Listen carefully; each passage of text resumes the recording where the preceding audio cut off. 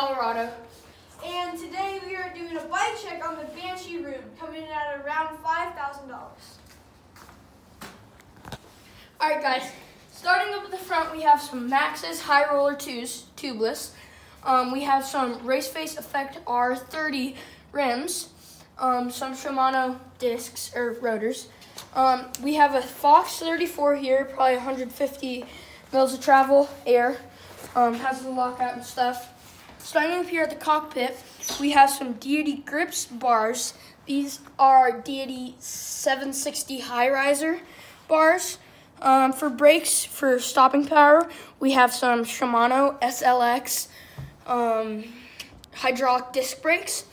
Um, for shifting, we got a Shimano SLX shifter, uh, 11 speed.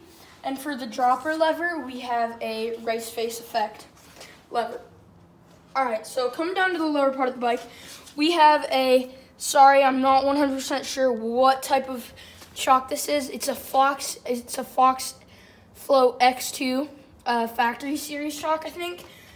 Um, for dropper post, obviously we have the race face effect dropper post, 150 mils of travel. Um, for a saddle, we have an SDG Falcon. Coming down here to the drivetrain, we have a race face, can't go wrong with those. We have a race face, I'm blanking, what's it called? A chain ring. Oh yeah, a race face chainring. I always forget that. We have some race face, some sick race face cranks. Always running the Chesters, some blue race face Chester pedals. Um, coming over to this part of the bike, we have a um, race face chainstay pad, um, a Shimano cassette 11 speed, and switching it up a little, instead of an SLX derailleur, we have a Shimano XT derailleur.